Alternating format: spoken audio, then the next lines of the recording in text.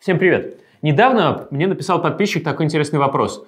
Все вокруг хотят стать бизнесменами, и я чувствую, что мне вроде как тоже надо. Но при этом я не чувствую любви к бизнесу, и мне кажется, что я больше хотел бы заняться программированием. Что мне делать? Конечно, очевидный ответ – не становиться бизнесменом.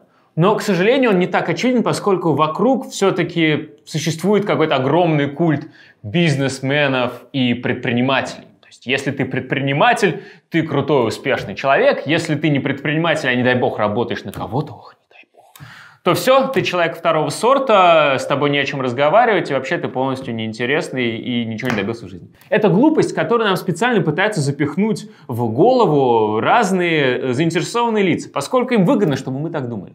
Так выгодно самим бизнесменам, поскольку тогда мы будем думать, о, какие они крутые, и будем пытаться брать с них пример. Так выгодно и различным изданиям, которые пишут про бизнесменов, там, там уже Forbes, потому что тогда вы будете эти издания читать. Ибо иначе, если они будут писать про обычных людей, читать не будет не так прикольно, нету такой драмы. Кроме того, это выгодно компаниям, в которых, э, которые построили эти бизнесмены, потому что, о, мы тогда можем говорить все время о нашем крутом бизнесмене, и вы тогда будете читать, а заодно мы можем запихнуть какой-нибудь свой продукт, э, чтобы вы покупали, потому что вы построил крутой бизнесмен. Ведь это глупость с точки зрения того, что делать конкретно вам.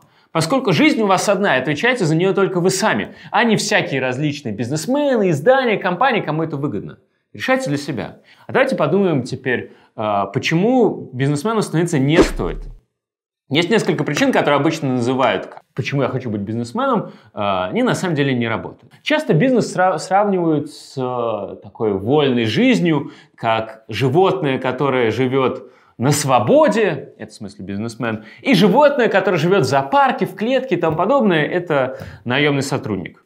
Вроде как, конечно, животному э, на воле гораздо тяжелее живется, но при этом оно свободно, оно может много всего достичь. Но на самом деле это сравнение не очень точное. Более точное сравнение – это, да, животное в клетке, которое постепенно может расти. И ты из суслика в хорошей компании можешь постепенно стать котом, потом ты можешь стать тигром. И тигром, друзья, очень круто живется на самом деле. А если ты работаешь на себя, ты можешь стать сусликом. А может быть, тебя сожрут, а может быть, тебя раздавят. А может быть, ты всю жизнь останешься сусликом и не вырастешь. Тебя не раздавят, но ты не станешь никогда никем больше, даже котом. Будешь только сусликом. Вот готов ли ты быть сусликом? Непонятно.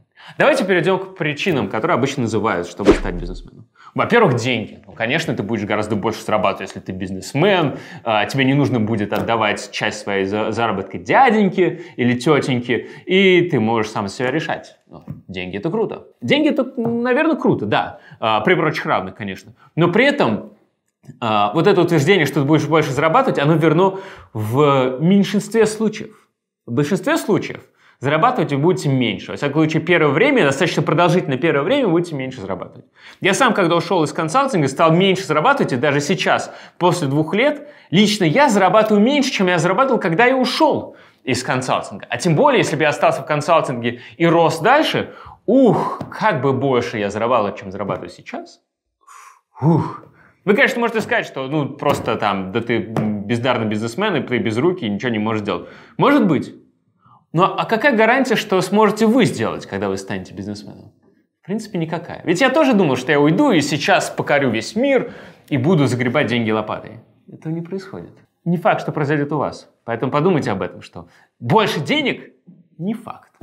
Больше уважения. Все говорят, что ну, бизнесменом быть круто, а наемным сотрудником быть не круто, и, конечно, гораздо интереснее смотреть на бизнесмена. Ну, не совсем так. Гораздо круче, если ты Цукерберг. Гораздо круче, если ты, например, даже господин Тиньков. Или еще кто-то. Ну, такой, который уже много всего добился, уже 100-500 лет бизнесмен и построил успешную компанию. Да. Но если ты бизнесмен, у которого компания совсем маленькая, типа ты и там, 5 твоих сотрудников, то никто к тебе не будет относиться круче, и лучше, чем если ты работал в какой-то престижной компании, занимал престижную должность до этого. То есть, если вы хотите, чтобы вас больше уважали, явно не стоит становиться предпринимателем, ибо это придет совсем не скоро.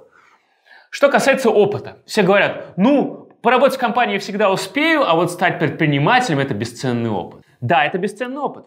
Но поработать в компании вы не факт, что успеете, потому что компании гораздо хуже берут людей с опытом предпринимательства, чем без такого опыта. Я знаю это не понаслышке, поскольку и мне стали гораздо меньше писать, когда стал предпринимателем. И самое главное, моим студентам, бывшим предпринимателям, гораздо тяжелее пройти скрининг в разные компании, потому что они предприниматели, а опыт не тот, который нужен компаниям. Поэтому говорить о том, что о, работа в компании подождет, я бы не стал. Возможно, и нет. Возможно, не подождет. И возможно, что после предпринимательства вы останетесь с пустого корыта. И компанию построить не получилось, и устроиться на интересную работу тоже не получилось. Спрашивается, а ради чего тогда быть предпринимателем? Не ради денег, не ради уважения, не ради опыта. М-м. Ради того, чтобы заняться тем, что интересно. Вот если вам интересно, например, как мне заниматься преподаванием и пытаться построить университет, то, конечно, стоит становиться предпринимателем. И не стоит делать ничего другого. Если же вам интересно что-то другое, например, программировать, разрабатывать, будьте разработчиком. Если потом получится из этого построить компанию, ну хорошо, но при этом вы будете меньше программировать, конечно. Если же вам интересно писать код, пишите код, и вы достигнете огромных высот там. Но это, э, на самом деле, обсуждение говорит о том, что есть смысл смотреть на свою карьеру шире, чем то, что вам диктует общество. Например, быть предпринимателем, или быть консультантом, или быть программистом, или кем угодно. Будьте кем вам нравится. Поскольку жизнь у вас одна, и потом поменять вы ничего уже не сможете, или это будет гораздо тяжелее, когда вам будет, например, 40. Меняйте сейчас и делайте, что нравится. Если получится на этом зарабатывать деньги, классно, тогда у вас будет счастливая жизнь. Если не получится, вы все равно будете довольны собой, поскольку вы занимаетесь интересными вещами. А, постепенно приложите деньги. Поэтому, пожалуйста, делайте, что вам интересно, а не пытайтесь становиться бизнесменами или программистами или предпринимателями, если только вам такое говорят все со стороны. Фома – это ужасное чувство, от которого стоит избавиться как можно скорее. Избавляйтесь. А еще подписывайтесь к нам на канал ВКонтакте, в Фейсбуке, в Ютубе, комментируйте, делитесь видео. В общем, э, покажите, что вам интересно, что я рассказываю. Я буду вам за это благодарен. Все, пока!